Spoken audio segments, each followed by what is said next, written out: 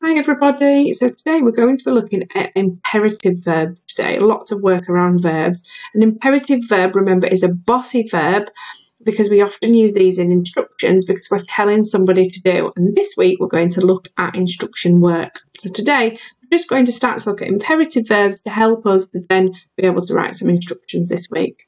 So if you need a little bit more support on this, then there's some websites here, some links that you can um, type in to watch around imperative verbs, and it gives you a little bit more details and some work around that if you want that. So first of all, I want you to play a game with your grown-up, with your brother and sister, whoever's in the house with you.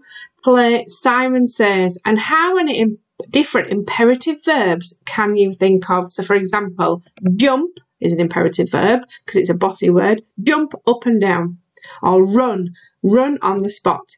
Click your fingers. So remember that first word is that bossy verb. It's an imperative verb and it tells somebody what to do. So play Simon Says and have a think of different imperative verbs you can use. Pause the video and off you go play Simon Says. So some imperative verbs we've got. So if we're writing cooking instructions, we might use some of these words like stir, add, whisk, pour, mix, spoon, beat, fry, cook, and bake. And that tells the person what to do, doesn't it? If they're cooking something, they know they've got to whisk some eggs or cook in the oven, bake in the oven. Craft instructions. So if you're going to make something, you need some instructions around craft. So cut, paint, bend, draw, turn, colour, fold, score, and tear. So again, the craft instruction tells you something that you need to do. Cut out the circle. Paint the square red. So those imperative verbs tell that person what to do. Some direction instructions. So if you're telling somebody a direction, you might need to tell them where to go and you might use the words step, face, rotate, take, turn and walk an exercise instruction. So if you're doing some exercise, you might tell somebody to run, hop, jump, skip, bend, walk, stretch, relax, and move. So remembering those imperative verbs at the beginning of your sentence help the person know what to do in an instruction. And like I say, we're going to be looking at that over the next couple of days. So here are some imperative verbs that we need to add into these sentences. So read the sentences and choose the imperative verb which goes in that space. Write it down and then don't forget to send it over on Tapestry.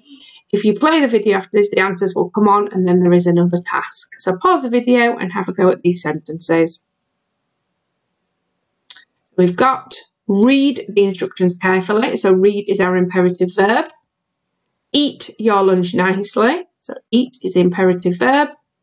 Pour the juice slowly into the jug. Pour being the imperative verb. Remember, it's a doing word. It's in a bossy verb that we're telling them to do. And then we've got jump over the bench. So your last task for today is to design a poster around imperative verbs. But I want you to choose one of the four headings. So we've just talked about cooking instructions, craft instructions, direct instructions, or exercise instructions. So for example, a poster could be, if you choose cook, you might want to draw a chef, a set of pans, some wooden spoons, some plates, and a jug or bottle of milk, and add some imperative verbs too. So you're not just creating a poster all around verbs, you're drawing some pictures of what would happen around that verb. So if you're drawing a chef, you might then add the word next to it saying bake in the oven. So you're adding that instruction alongside your picture.